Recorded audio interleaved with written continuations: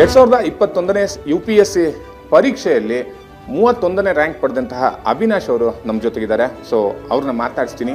Sir first of all thirty first rank ತೊಗೊಂಡಿದ್ದಕ್ಕೆ ಹಾಗೆ ಕರ್ನಾಟಕಕ್ಕೆ ಪ್ರಥಮ ಸ್ಥಾನ ಪಡ್ಕೊಂಡಿದ್ದಕ್ಕೆ ಕಂಗ್ರ್ಯಾಚುಲೇಷನ್ಸ್ ಸೊ ನಿಮ್ಮ ನೀವು ಹೇಗೆ ಫೀಲ್ ಮಾಡ್ತಿದ್ದಾರೆ ಸದ್ಯದ ಮಟ್ಟಿಗೆ? ಭಾಳ ಖುಷಿ ಆಗ್ತಾ ಇದೆ. ಎಕ್ಸ್ಪೆಕ್ಟ್ ಮಾಡಿರಲಿಲ್ಲ. ಲಿಸ್ಟಲ್ಲಿ ಇರುತ್ತೆ ಅಂತ ಎಷ್ಟಿತ್ತು ಬಟ್ ರ್ಯಾಂಕ್ ಇಷ್ಟು ಎಕ್ಸ್ಪೆಕ್ಟ್ ಮಾಡಿರಲಿಲ್ಲ. ಫೀಲಿಂಗ್ ವೆರಿ ಹ್ಯಾಪಿ ಸೊ ನೀವು ಎಲ್ಲಿಯವರು ಯಾವ ಊರಿನವರು? ಹಾಗೇನೆ ಇದು ಎಷ್ಟನೇ ಅಟೆಂಪ್ಟ್ ನಿಮ್ಮದು ನಮ್ಮದು ಊರು ದಾವಣಗೆರೆ. ಇದೊಂದು ಫಸ್ಟ್ ಅಟೆಂಪ್ಟ್ ಸೊ ಹೇಗಿತ್ತು ನಿಮ್ಮ ಈ ಒಂದು ಯು ಪಿ ಎಸ್ ಸಿಗೆ ಪ್ರಿಪ್ರೇಷನ್ಸ್ ಹೇಗಿತ್ತು? ನಾನು ಆ್ಯಕ್ಚುಲಿ ಟ್ವೆಂಟಿ ಟ್ವೆಂಟಿಯಲ್ಲಿ ಸ್ಟಾರ್ಟ್ ಮಾಡಿದ್ದು. ಬ್ಯಾಂಗ್ಳೂರಲ್ಲಿ ಇನ್ಸೈಟ್ಸ್ ಇಲ್ಲಿ ಕೋಚಿಂಗ್ ತೊಗೊಳಕ್ಕೆ ಬಂದಿದ್ದು ನಾನು.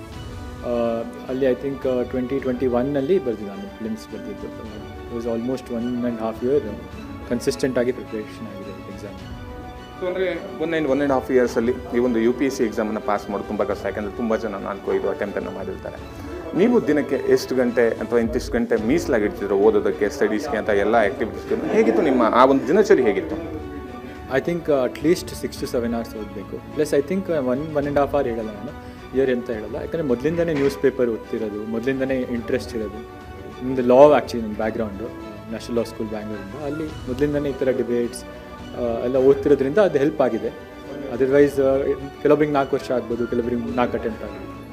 ಸೊ ಈ ಥರ ನಂದು ಡೈಲಿ ಅಂದರೆ at least six to seven hours preparation plus classes ಇಲ್ಲಿ ಇನ್ಸೈಟ್ಸಲ್ಲಿ ಇನ್ ಕ್ಲಾಸಸ್ ಅಟೆಂಡ್ ಮಾಡೋದು.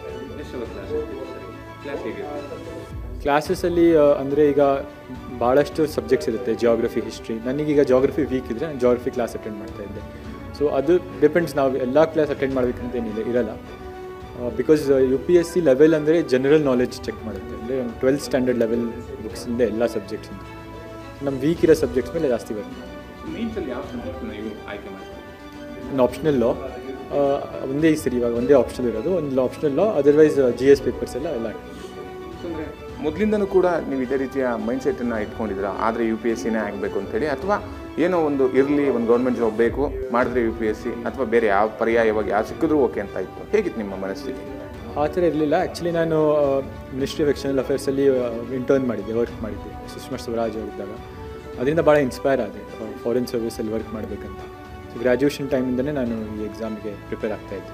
ಸೊ ಇವಾಗ ನಿಮಗೆ ತರ್ಟಿ ಫಸ್ಟ್ ರ್ಯಾಂಕ್ ಸಿಕ್ಕಿರೋದು. ಅಂದರೆ ಈಗ ಟಾಪ್ ಏಯ್ಟಿ ಒಳಗಡೆ ಸಿಕ್ಕಿದ್ರೆ ಆ ಒಂದು ಕ್ಯಾಂಡಿಡೇಟ್ಗೇ ತಮಗೆ ಬೇಕಾದಂಥ ಐ ಪಿ ಎಸ್ ಆಗಿರ್ಬೋದು ಐ ಎ ಎಸ್ ಅಥವಾ ಐ ಎಫ್ ಎಸ್ ಚೂಸ್ ಮಾಡ್ಕೊಳ್ಳೋಂಥ ಒಂದು ಕೆಪಾಸಿಟಿ ಇರುತ್ತೆ ಒಂದು ಆಯ್ಕೆ ಇರುತ್ತೆ. ನೀವು ಯಾವುದನ್ನು ಆಯ್ಕೆ ಮಾಡ್ಕೊತೀರಾ? I A S I P S ಅಥವಾ ಐ ಎಫ್ ಎಸ್ ಯಾವುದನ್ನು ಆಯ್ಕೆ ಮಾಡ್ಕೊಬೇಕು ಅಂತ ಇದ್ದೀರಾ? ಇಂಡಿಯನ್ ಫಾರಿನ್ ಸರ್ವಿಸ್ ಪ್ರಿಫರ್ ಮಾಡಿದ್ದೀನಿ ಯಾಕೆ? ಇಂಟ್ರೆಸ್ಟ್ ಅದು ಯಾರ್ದು ಯಾರಿಗೆ ಆ ಲೆವೆಲಲ್ಲಿ ಸರ್ವ್ ಮಾಡಬೇಕಂತ ಇಂಟ್ರೆಸ್ಟ್ ಇರುತ್ತೆ. ನಂದು ಮೋರ್ ಇಂಟರ್ನ್ಯಾಷನಲ್ ಲೆವೆಲಲ್ಲಿ ಸರ್ವ್ ಮಾಡಬೇಕಂತ ಇಂಟ್ರೆಸ್ಟ್ ಇದೆ ಪ್ಲಸ್ ಎಸ್ ಜಯಶಂಕರ್ ಆ ಥರ ನಮ್ಮ honourable minister of external affairs ಅವ್ರನ್ನೆಲ್ಲ ಇನ್ಸ್ಪೈರ್ ಆಗಿ ಅಂದರೆ ಇವಾಗ ನೆಕ್ಸ್ಟ್ ನೀವು ಒಂದು ಸರ್ಕಾರಿ ಅಧಿಕಾರಿಯಾಗಿ ನೇಮಕಗೊಳ್ತೀರಾ ನಿಮ್ಮ ಒಂದು ತಲೆಯಲ್ಲಿ ಇರ್ತಕ್ಕಂಥ ಒಂದಿಷ್ಟು ಭಾವನೆಗಳು ಅಭಿಪ್ರಾಯಗಳು ಅಂದರೆ ಇಂಥ ಒಂದು ಕ್ಷೇತ್ರದಲ್ಲಿ ಇಂಥ ಒಂದು ಸುಧಾರಣೆ ಆಗಬೇಕು ಅಂತ ಏನು ಮನಸ್ಸಲ್ಲಿದೆ ಯಾವ ರೀತಿಯಲ್ಲಿ ಆಡಳಿತ ನಡೆಸಬೇಕು ಅಂತ ಒಂದು ಆಸಕ್ತಿ ಇದೆ ನಿಮಗೆ? ಥಿಂಕ್ ಥಿಂಕ್ ಆನೆಸ್ಟಾಗಿ ವರ್ಕ್ ಮಾಡಬೇಕು ಎಲ್ಲರಿಗೂ ಎಫಿಷಿಯೆಂಟಾಗಿ ಆನೆಸ್ಟಾಗಿ ಮಾಡಬೇಕು. ಇದೊಂದು ಆಪರ್ಚುನಿಟಿ ಎಲ್ಲರಿಗೂ ಸಿಗಲ್ಲ. ಒಂದು ಹತ್ತು ಲಕ್ಷ ಜನ ರಿಜಿಸ್ಟರ್ ಮಾಡ್ತಾರೆ ಈ ಎಕ್ಸಾಮಿಗೆ ಸಿಕ್ಕಿದೆ ಇವಾಗ ಆಪರ್ಚುನಿಟಿ ಅಂದರೆ ನಾವು ಆನೆಸ್ಟಾಗಿ ಸರ್ವ್ ಮಾಡಬೇಕು ಅಂತ ನನ್ನ ಅಭಿಪ್ರಾಯ ಅಷ್ಟೇ. ಸೊ ಅಂದರೆ ಮುಂದೆ ಬರ್ತಕ್ಕಂಥ ಆಸ್ಪಿರೆಂಟ್ಸಿಗೆ ಏನು ಹೇಳಕ್ಕೆ ಬಯಸ್ತಾರೆ? ಯಾಕಂದರೆ ಸಾಕಷ್ಟು ಜನ ಟ್ರೈ ಮಾಡ್ತಾರೆ ಫೇಲ್ಯೂರನ್ನು ಕಂಡ್ಕೊತಾರೆ ಹಾಗೆ ಕೈ ಬಿಡ್ತಾರೆ. ಸೊ ಇಂತಹ ಒಂದು ಅಭ್ಯರ್ಥಿಗಳಿಗೆ ನಿಮ್ಮ ಕಡೆಯಿಂದ ಒಂದು ಸಂದೇಶ ಏನು? ಐ ಥಿಂಕ್ ಸರ್ವ್ ಮಾಡಬೇಕಂದ್ರೆ ಭಾಳಷ್ಟು ಇದೆ ಮೀಡಿಯಾದವರಲ್ಲೂ ಸರ್ವೇ ಮಾಡ್ತಾಯಿದ್ದಾರೆ ನಾವು ಲಾ ಅಲ್ಲಿ ಸರ್ವ್ ಮಾಡ್ತಾಯಿದ್ದಾರೆ ಆ ಥರ ಇದು ಸೊ- ಸೋತು ಹೋಗಿದ್ದೀನಿ ಅಂತ ಅನ್ಕೋಬಾರ್ದು. ಅಟೆಂಪ್ಟ್ ಇರೋವರೆಗೂ ಮಾಡ್ತಿರಬೇಕು. ಆಗಿಲ್ಲ ಅಂದರೆ ಬೇರೆ ಕಡೆ ಹೋಗಿ ಯಾಕಂದರೆ ಈ ಎಕ್ಸಾಮಲ್ಲಿ ನಾವು ಓದ್ತೀವಲ್ಲ ಅದು ಯಾವಾಗಾರ ಲೈಫಲ್ಲಿ ಯೂಸ್ ಆಗೇ ಆಗುತ್ತೆ ಎಥಿಕ್ಸು ಇರಲಿ ಲೋ ಎಸ್ ಎ ಇರಲಿ ಭಾಳ ಯೂಸ್ಫುಲ್ ಆಗೇ ಆಗುತ್ತೆ. ಸೊ ಐ ಥಿಂಕ್ ಅವ್ರು ಅದನ್ನು ಯೂಸ್ ಮಾಡ್ಕೋಬೇಕು ಲೈಫ್ ಸೊ ನಿಮ್ಮ ಫ್ಯಾಮಿಲಿ ಸಪೋರ್ಟ್ ಹೇಗಿತ್ತು ಸರ್? ನಿಮ್ಮ ಒಂದು ಈ ಒಂದು ಐ ಎ ಎಸ್ ಹೆಜ್ಜೆಗೆ ಯಾವ ರೀತಿಯಲ್ಲಿ ನಿಮ್ಮ ಅಣ್ಣ ತಮ್ಮ ಆಗಿರ್ಬೋದು ಅಥವಾ ತಂದೆ ತಾಯಿ ಯಾವ ರೀತಿಯಲ್ಲಿ ನಿಮಗೆ ಸಪೋರ್ಟ್ ಮಾಡಿದ್ರು? ಭಾಳ ಸಪೋರ್ಟ್ ಮಾಡಿದ್ದಾರೆ. ನಮ್ಮದು ಜಾಯಿಂಟ್ ಫ್ಯಾಮಿಲಿ ಇರೋದು. ನಮ್ಮ ಅಜ್ಜನ ಸಪೋರ್ಟ್ ಮಾಡಿದರೆ ನಮ್ಮ ತಂದೆ ತಾಯಿ ನಮ್ಮ ತಂಗಿ ಆ್ಯಕ್ಚುಲಿ ಅವಳು ಎಂ ಬಿ ಬಿ ಎಸ್ ಹೋಗ್ತಾಳೆ ಡಾಕ್ಟರ್ ಅವಳು. ಎಲ್ಲರೂ ಐ ಥಿಂಕ್ ಕಾನ್ಸ್ಟೆಂಟಾಗಿ ಸಪೋರ್ಟ್ ಅಲ್ಲಿದ್ದರು ಸೊ ಅಂದರೆ ಇವಾಗ ಫೈನಲ್ ಆಗಿ ಆಲ್ರೆಡಿ ಈ ಒಂದು ಯು ಪಿ ಎಸ್ ಸಿನ ಪಾಸ್ ಆಗಿರೋವಂಥದ್ದು. ಸೊ ನಿಮ್ಮ ರ್ಯಾಂಕ್ ಎಕ್ಸ್ಪೆಕ್ಟೇಷನ್ಸ್ ಎಷ್ಟಿತ್ತು? ನಿಮ್ಮ ಹಾರ್ಟ್ ಸ್ಟಡಿ ಪ್ರಕಾರ ಎಷ್ಟು ಬರ್ಬೋದು ಅಂತ ನಿಮ್ಮ ಒಂದು ಒಪಿನಿಯನ್ ಆಗಿತ್ತು? ಸರಿ ನನಗೆ ಅಷ್ಟು ಐಡಿಯಾ ಇರಲಿಲ್ಲ. ಎಷ್ಟು ರೆಫರೆನ್ಸ್ ಹೇಗಾಗಿದೆ ಪೇಪರ್ ಅಂತ. ಬಟ್ ಲಿಸ್ಟಲ್ಲಿ ಇರುತ್ತೆ ಅಂತ ಸ್ವಲ್ಪ ಕಾನ್ಫಿಡೆನ್ಸ್ ಇತ್ತು. ಬಟ್ ಈ ಥರ ಹಂಡ್ರೆಡ್ ಒಳಗೆ ಬರುತ್ತೆ ಅಂತ ನನಗೆ ಅಷ್ಟು ಕಾನ್ಫಿಡೆನ್ಸ್ ಇರಲಿಲ್ಲ. ಐ ಥಿಂಕ್ ಟೂ ಹಂಡ್ರೆಡ್ ಒಳಗೆ ಅಂತೂ ನಿಮ್ದು ಇತ್ತು. ಅಟ್ಲೀಸ್ಟ್ ಅಷ್ಟು ಕಾನ್ಫಿಡೆನ್ಸ್ ಇತ್ತು ಕಂಪೇರ್ ಮೇನ್ಸ್ ಹೇಗೆ ಹೋಗಿದೆ ಅಂತೆಲ್ಲ. But yeah but I think could been better also thirty one top ಟೆನ್ನಲ್ಲೂ ಇರ್ಬೋದು ಟಾಪ್ ಒನ್ನೂ ಇರ್ಬೋದು. ಸೊ ಅದೇ. ನಿಮಗೆ ತುಂಬ ಕಷ್ಟವಾಗಿರ್ತಕ್ಕಂಥದ್ದು ಅಂತ ಅಂದರೆ ಪ್ರಿಲಿಮ್ಸು ಮೇನ್ಸೋ ಅಥವಾ ಇಂಟರ್ವ್ಯೂನು ಯಾವುದು ಸ್ವಲ್ಪ ಕಷ್ಟಕರ ಅಂತ ಅನಿಸಿದ್ದು? ಐ ಥಿಂಕ್ ಮೇನ್ಸ್ ಸ್ವಲ್ಪ ಚಾಲೆಂಜಿಂಗು ಬಿಕಾಸ್ ನೈನ್ ಪೇಪರ್ಸ್ ಇರುತ್ತೆ three hours each paper and diverse ಸಬ್ಜೆಕ್ಟಲ್ಲಿ ಹೋಗ್ತೀವಿ ಐ ಥಿಂಕ್ ಮೇನ್ಸ್ ಸ್ವಲ್ಪ ಚಾಲೆಂಜಿಂಗ್ ಪ್ರಿಲಿಮ್ಸ್ ಅಷ್ಟು ಟಫ್ ಅನಿಸಿಲ್ಲ. ಸಿಮಿಲರ್ಲಿ ಇಂಟರ್ವ್ಯೂ ಲಾ ಬ್ಯಾಕ್ಗ್ರೌಂಡ್ ಇರೋದ್ರಿಂದ ನಮಗೆ ಆ ಥರ ಸ್ಪೀಕಿಂಗ್ ಕಮ್ಯುನಿಕೇಷನಲ್ಲಿ ಮೊದಲಿಂದನೂ ಟ್ರೈನಿಂಗ್ ಮಾಡಿರ್ತಾರೆ. ಸೊ ಮೇನ್ಸ್ ನನಗೆ ಸಿಗ್ತದೆ ಫೈನಲ್ ಆಗಿ, ಇವಾಗ ಆಲ್ರೆಡಿ ರ್ಯಾಂಕನ್ನು ಪಡ್ಕೊಂಡಿರೋ ತರ್ಟಿ ಫಸ್ಟು ನಿಮ್ಮ ಫ್ರೆಂಡ್ಸು ಏನು ಹೇಳ್ತೀನಿ ಅಂತ ಮತ್ತು ಫ್ಯಾಮಿಲಿ ಏನು ಹೇಳ್ತಿದ್ದಾರೆ? ನಿಮಗೆ ಎಷ್ಟು ಮಟ್ಟಿಗೆ ಖುಷಿ ಆಗ್ತಿದೆ? ಭಾಳ ಖುಷಿ ಆಗ್ತಾಯಿದೆ sir. I think it was not expected and even ನಮ್ಮ ಪೇರೆಂಟ್ಸ್ ಎಲ್ಲ ಭಾಳ ಖುಷಿಯಾಗಿದೆ ನಮ್ಮ ಫ್ರೆಂಡ್ಸು ಕಂಗ್ರ್ಯಾಚುಲೇಷನ್ಸ್ ಬರ್ತಾ ಇದೆ thank you thank you yes ಇದಿಷ್ಟು ಯು ಪಿ ಎಸ್ ಸಿಯಲ್ಲಿ ಮೂವತ್ತೊಂದನೇ ರ್ಯಾಂಕ್ ಪಡೆದಿರ್ತಕ್ಕಂಥ ಅವಿನಾಶ್ ಅವರ ಮಾತು. ಕ್ಯಾಮ್ರಾ ಪರ್ಸನ್ ಪ್ರತಾಪ್ ಜೊತೆ ವಿಕ್ರಮ್ ಕುಮಾರ್ ಏಷ್ಯಾ ಸುವರ್ಣ ನ್ಯೂಸ್ ಬೆಂಗಳೂರು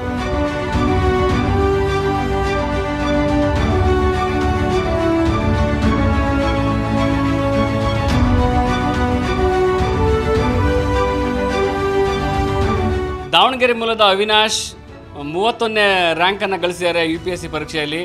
ನಿಜಕ್ಕೂ ಅವರು ಕರ್ನಾಟಕಕ್ಕೆ ಟಾಪರ್ ಆಗಿದ್ದಾರೆ. ದಾವಣಗೆರೆಯಲ್ಲೇ ಹುಟ್ಟಿ ಬೆಳೆದು ಇಲ್ಲೇ ಓದಿ ಅವ್ರು, ಅವರು ನಿಜಕ್ಕೂ ಒಂದು ದೊಡ್ಡ ಸಾಧನೆ. ಇಡೀ ಕುಟುಂಬ ಸಂತಸದ ಕಡಲಲ್ಲಿ ತೇಲ್ತಾ ಇದೆ.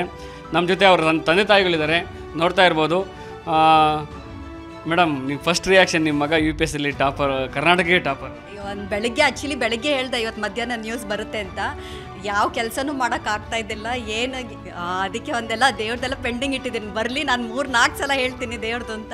ಹಂಗೆ ಪೆಂಡಿಂಗ್ ಇಟ್ಟು ಒಂಥರ ಏನು ಕೆಲಸನೇ ಮಾಡೋಕ್ಕಾಗ್ತಿದ್ದಿಲ್ಲ ಸರಿ ಮತ್ತು ಹೇಳ್ದಾಗ ಖುಷಿ, ಅದು ಏನು ಖುಷಿ ಅಂತ ಎಕ್ಸ್ಪ್ರೆಸ್ ಮಾಡೋಕ್ಕೆ ಆಗಲ್ಲ. ಅಷ್ಟು ಖುಷಿ, ಅದು ಅನುಭವಿಸಿದವ್ರಿಗೆ ಗೊತ್ತಾಗುತ್ತೆ, ಅಷ್ಟು ಖುಷಿಯಾಗಿದೆ ಅಷ್ಟೇ ಮತ್ತೇನು ಹೇಳೋಕ್ಕಾಗಲ್ಲ ಇಪ್ಪತ್ತೈದು ವರ್ಷಕ್ಕೆ ಟಾಪರ್, ಅಂದರೆ ಒಂದು ಯು ಪಿ ಎಸ್ ಮೊದಲೇ ಫಸ್ಟ್ ಅಟೆಂಪ್ಟ್ ಕ್ಲಿಯರ್ ಮಾಡಿದ್ದಾರೆ ನಿಜಕ್ಕೂ ಸಂತೋಷ ಆಗ್ತದೆ.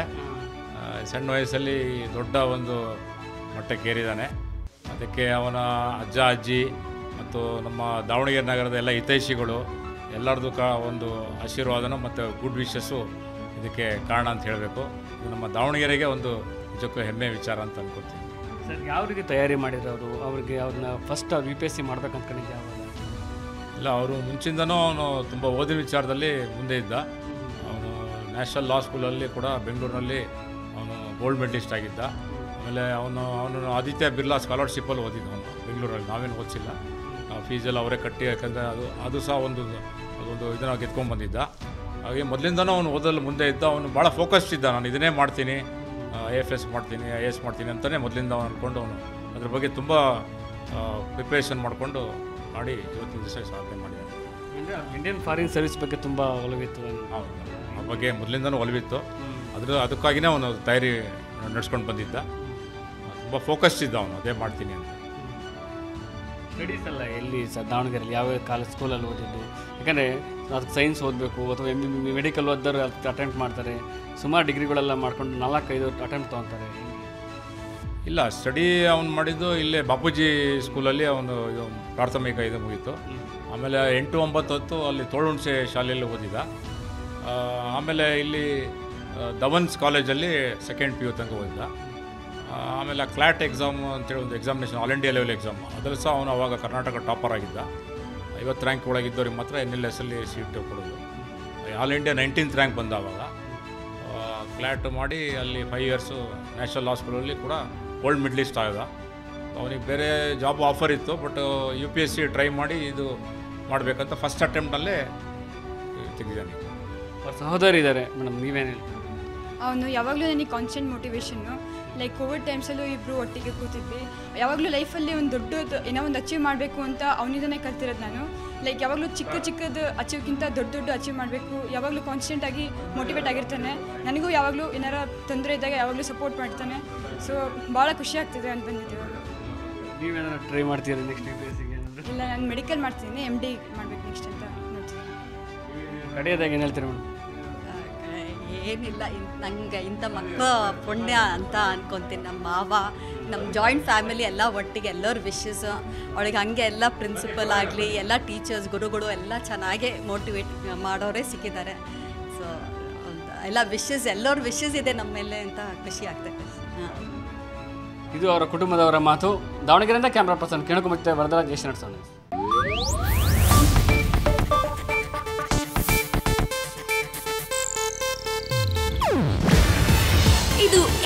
ಏಷ್ಯಾನೆಟ್ ನ್ಯೂಸ್ ನೆಟ್ವರ್ಕ್ ಪ್ರಸ್ತುತಿ. ನೀವು ನೋಡ್ತಿದ್ದೀರಾ ಏಷ್ಯಾನೆಟ್ ಸುವರ್ಣ ನ್ಯೂಸ್.